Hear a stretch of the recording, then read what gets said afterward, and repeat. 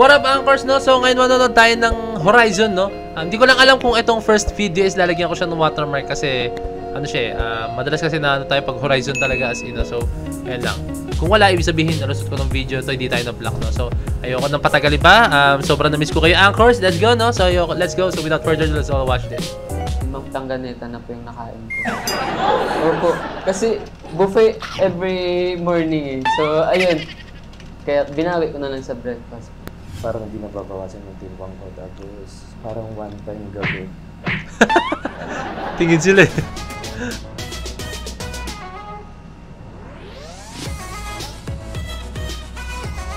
Ngayon naman, magkakaroon tayo ng challenge. Category game.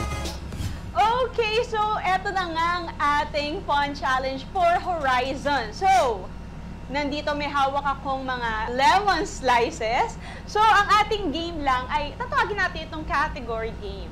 So, may babanggitin ako mga categories and then, ang sasagot lang kayo ng mga related sa categories na yon. At dapat, within 3 seconds, eh, masagot nyo na. Kung hindi- We have a timer. Ang Kung hindi- dito, syempre kapag kayo ay nag-sip dito sa ating lemon, dapat let's try your best. Si to Winston- keep our poker faces on. Napapalayo na. Poker face on. Let's go! Okay, so mauna natin ay si Kim. Ano ang gulay na hindi color Oy! green? Wala akong maisip talaga sin. Pinatatagal niya para makapag-isip siya. Ayan na. Wow! Ngumiti, oh. Inubos pa niya. Grabe, ang lakas ni Kim. Masarap. Go, Tyler! What's that? Kalabasa! Magkaiba naman yun eh. Kim. Kaiba yun. Two, one! In English lang ba niya? In English niya lang? Feeling ko, okay lang eh. Okay, okay. Kasi pumpkin squash, parang different. Okay. Okay, Kuya Vinci. Wow. Sibuyas! Kamatis. Fruit ang kamatis! Hindi! Kamatis, fruit. May Oo, debate fruit yun! Ito yung malaki, ito yung malaki. Ala! All this time, kamatis, akala ko kulay. Wala ring effort. Shit, pareho kami ni... Activities na gagawin nyo pag sleep over. Jeremy. Go! One. Three! Wala ng TV. Maliligo. Pillow fight. Laro ng cellphone. Drive. Ano? Ah, sabi niya drive. Road trip pala yung nasa isip. Gusto niyo talaga lang ng lemon eh, yun lang yun. Ay, oo. Easy. Sabi ni Kim, easy. Mga sahog sa sinigang. Okay, dahil hawak na ni Marcos, magsimula ka na. Kangkong. Sibuyas. Kaso na? Ano yung laso na? Ano yung laso na? Winston, ano yung laso na? Winston. Namula. Ah, hindi naman kasi maasim siguro. Kangkong. Sinigang mix.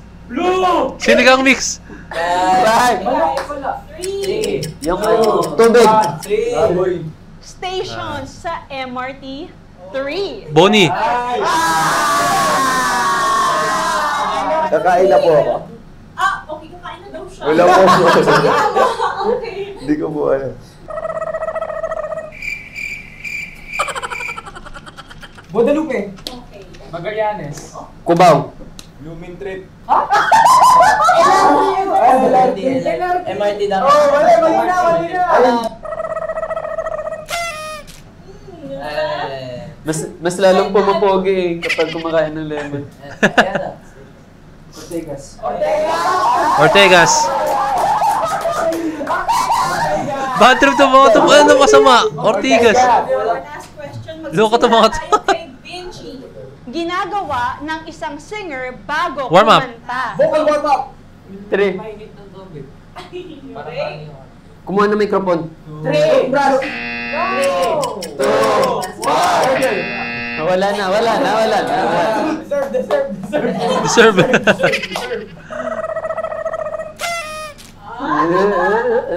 Angas ng mata talaga nito ni Kyler. Mag-pray siya. Oh, thank you so much, Horizon. Thank Ayun you. na yun, nakakatuwa eh. Saan pa ba kayo dapat abangan ng ating mga pushmates? Well, we're going to be promoting our album Friendship, our first album here in the Philippines. So please watch out our socials. We will be updating you guys very, very much. So Nakabitin as in. Thank you! Love you guys. Love you guys. That's it, Pushmates! We hope you enjoyed this Harry Horizon. Bad trip yun sa ano eh, kay Kyler Ortegas. Tapos tinawanan nila mga loko-loko tong mga to. Ano yung tinawanan? Bad trip yan ah. So ayun, meron pang tayong papanoorin isa, no? Nakita ko lang siya kanina. On October 3, Filipino K-pop boy group Horizon was spotted at the Incheon International Airport. Ah, bumalik na sila! Hi, Winston. Hi, Marcos.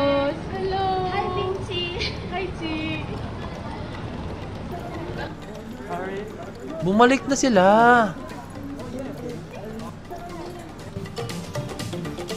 Shoutout Lee Ye The group is back in South Korea, although it's not yet announced what will be their upcoming activities in the country.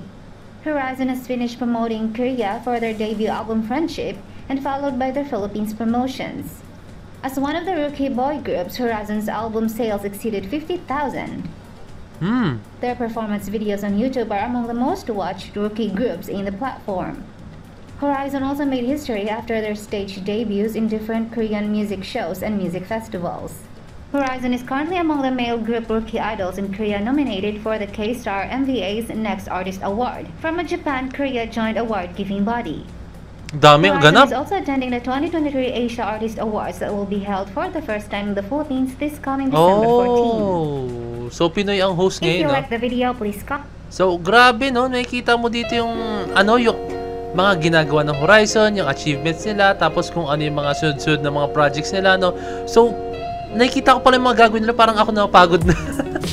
nakakatuwa lang, no? Nakakatuwa lang talaga. As in, yung ganito yung mga achievements ng Horizon. Tapos, akala ko talaga nung time na to is, hindi na sila babalik sa Korea, no? Pero, tiyan nyo, bumalik sila sa Korea, no? Which is, nakakatuwa lang kasi napakabata na itong mga tatas, napakasibag. Ako niyan, pag halimbawang nanggaling na ako doon, ah, ewan ko lang, ah, pero kunyari lang, no? pag nanggaling na ako dyan, baka magdalawang isip na ako bumalik ng Korea kasi parang pagod na ako. sa ano, syempre, sa edad ko ngayon. Pero syempre, kung ako ka edad na parang may time pala ako na habulin yung mga dreams ko talaga, no? Actually, hindi pa naman natapos yung dreams ko, habulin ko. Pero, nag-iba na kasi ako na landas, no? Nag-iba na. Hindi na ako talaga dun sa, as a performer side, na Parang iba na talaga yung landas. Kasi sila kasi, dun sila performer side talaga. Kaya, ayun, ito yung hinahabol ng Horizon, no? Kaya, sana ang Horizon is wag, wag tumigil sa pagabot na ng pangarap kasi eto andito tayo andito tayo mga fans nila andito andito andiyan kayo anchors no andito tayo anchors no let's go andito tayo anchors anchor. Let's go! So ayun andito tayo anchors no para sumuporta sa kanila. Hindi na sila hayaan na maramdaman na nag-iisa sila. Hindi nila dati na hayaan na maramdaman nila na parang sila lang mag-iya sa laban na tinatahak nila no. Dapat andyan tayo lagi, lagi, lagi pala sa kanya no. Although na alam natin na grabe mag ang perseverance nito mga to. Grabe ang resilience nito mga batang no. Pero syempre hindi hindi mas mapupush yung mga yan. Hindi mas motivate yan kung wala tayong mga fans no kaya sana anchors wag kayong tumigil sa pagsuporta sa Horizon no kasi ano eh, deserve nila talaga. Kasi napakasipag, no? Um, never in my life na nakita ako ng isang P-pop group na ganyang kasipag na kasi na. Although na meron ganyan, meron ganyan mga P-pop group. Pero masabi ko is, isa sila sa mga P-pop group na sobrang grabe mag-grind talaga. No? Yun like yung hindi nagpapahinga. Although mga, ah, ah, although Horizon na, nagpahinga kayo. mahirap na, baka magkasakit kayo or what na mahirap na. Pero thank God naman sa kanilang management, hindi nila hinahayaan or binabayaan ng Horizon. No? Kaya sana, Horizon, ituloy-tuloy niya lang. I know someday, somewhere, maaabot niyo yung dreams niyo, may kita niyo yung dreams niyo, like, andyan na pala yan. No? Pero, ayun, tuloy-tuloy lang. Hayaan niyo sila kung sabihin nila, no? Hayaan niyo sila kung, ay, ba't ganito, ba't ganyan yan? Dati, hindi nag-business na ganyan. Ba? Kasi, amin yung sarili niyo, may, may, kita, may nakikita pa rin tayo mga comments na ganyan, eh, mga comments kayo na rin na ganyan. No? Pero, hayaan niyo sila, bayaan niyo sila pangarap nyo to eh. Kahit ano namang gawin mo, kahit gano'n ka kataas, kahit sinong kasikat na tao ka pa, may mas masabi at masabi pa rin yung ibang tao dyan na keyboard warrior, no? may masabi at masabi pa rin yan, no? Mag-isip kayo ng kailan yung performer or artist, no? Mag-isip kayo ng pinakasikat. Um, believe me, pustahan tayo, may basher pa rin yan. Hindi mawala yung basher ng mga keyboard warrior yan. Kaya Horizon, tuloy-tuloy tayo, let's go. So yan lang, kung meron ka sa comment, no, better message ako sa Facebook page na Point of Ed. So this is Point of Ed signing out. Peace, let's G.